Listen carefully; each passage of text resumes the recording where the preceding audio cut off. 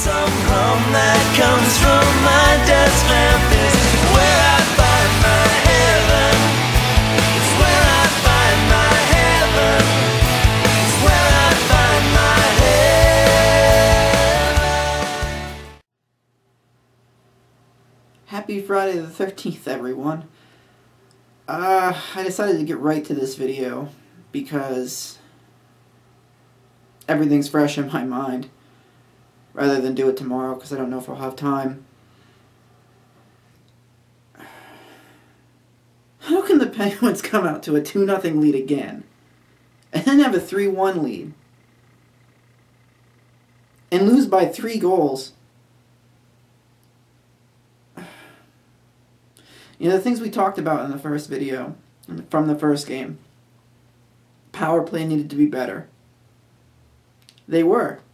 People needed to keep moving. This time, two periods they kept moving. Not just one, they moved. For two periods they kept moving. But again, come the third period, they stopped moving.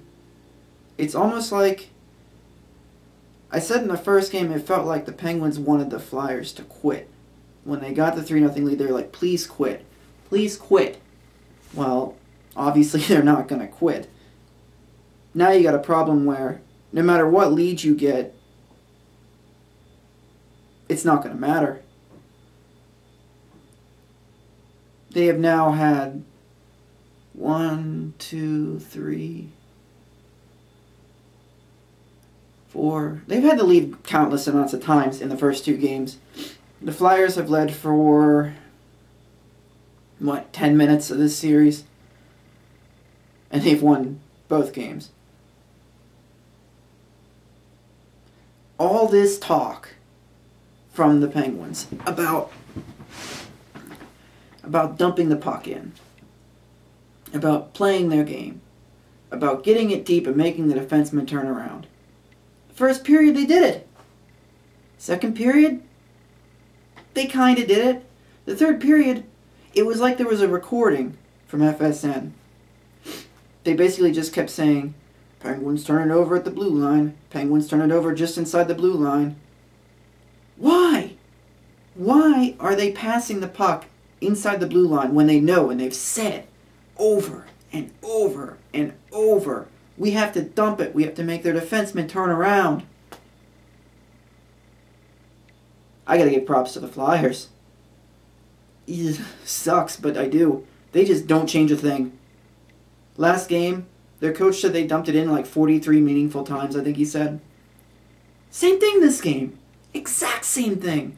And a lot of times the Penguins defensemen were pulling up so they wouldn't get hit. Play the puck. Take the hit. Move the puck out. Ben Lovejoy's turnover. Oh boy. I'd love to single him out, but I'm not going to. That whole defensive corps was awful. Awful. When I first looked at it at the beginning of the year, I remember saying, I think this defensive corps is the best one that we've had. Maybe ever. But as the seasons wore on, especially in that third period, they looked like they wanted nothing to do with that game. There were times when the puck was laying inside the Penguins' blue line where people would skate around it and nobody wanted it. Finally, there was one point where Letang had to take it and go the other way because three forwards skated by it like, nope, I don't want it.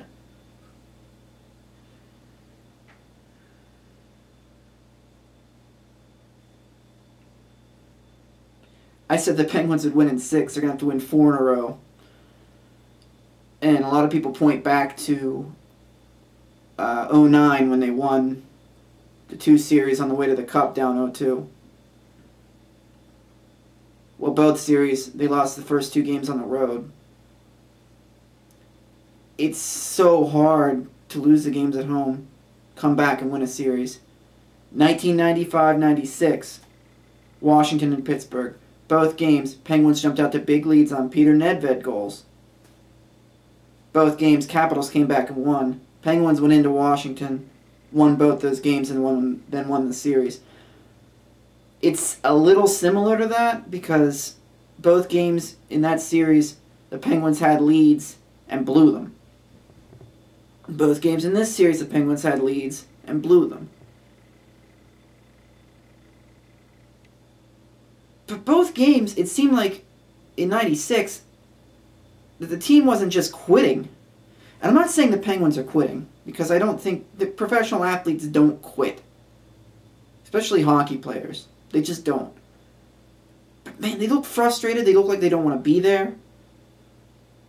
They look like they want the game to be over. They look like they look like we have the lead. Can this just end? And that's not how you do it. You have to get the lead and you have to force them to get back into the game. You don't hand them a turnover when you just scored. Every time the Flyers scored tonight, the Penguins would answer. But then the Flyers would answer.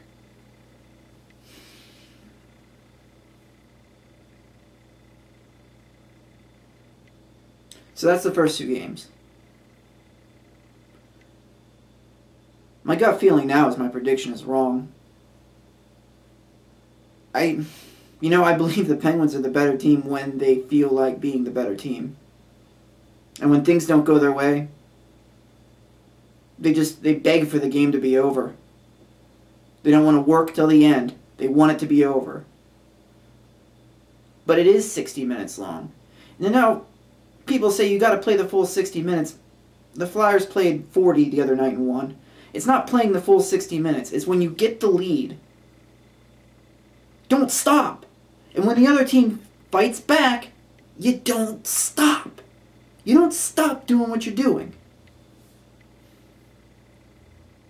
Now, as good as the power play was, turnovers, shorthanded goals, two in the same game, terrible. They spent all this time fixing things like the power play the last practice. Well, it got fixed. They won some face-offs. Still lost by three instead of one. The problem is as simple as playing the kind of hockey that they play. And they refuse to do it. And I have no, no idea why. I can't get in their heads. I don't know why they don't want to dump it in. I don't know why they want to try and make cross-ice passes inside the blue line with four guys in the Flyers zone.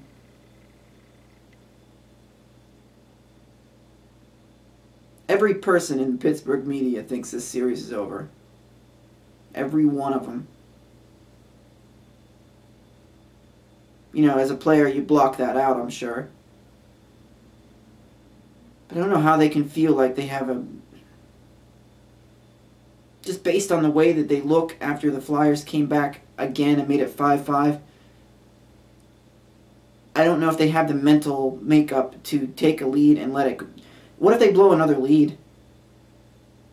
What if they go into game three and they take a 2 nothing lead and the Flyers tie it at 2?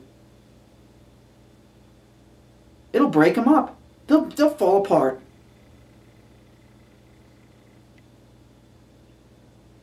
I don't know why they don't have the mental makeup to overcome a team coming back on them. When the game's tied, it's not over. You have to want to get the next goal. Make them come back again. Make them keep coming back. And for a while they were doing it tonight. But once that fifth goal went in, they just, the crowd went into the th- final period, I think, thinking that it was over, and they were just sitting there watching torture. They were tortured.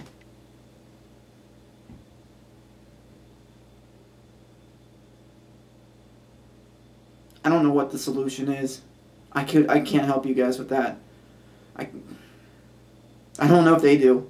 The solution is really easy, and they know what it is, and they won't do it. So I don't know what the real solution is. When you know what you have to do, you say it to the media that you have to do this, and you still don't do it, then you're not gonna do it. So how do you win? When you say, we need to dump the puck in and make their defensemen turn around, we need to go hit them, and then Paul Steigerwald says 15 times in a period, Penguins turn it over at the blue line again. Okay, you don't want to take it in. Don't tell people that you have to take it in.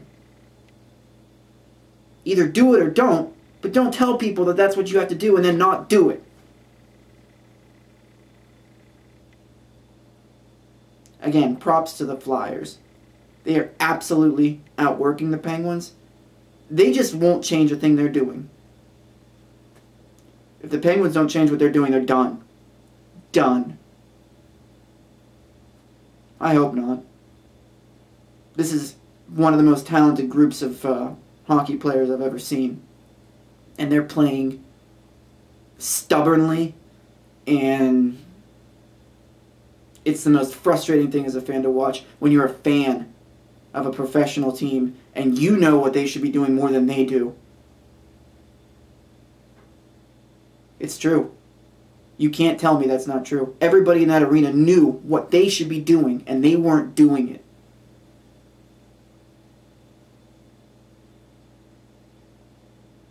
You can tell them a thousand times.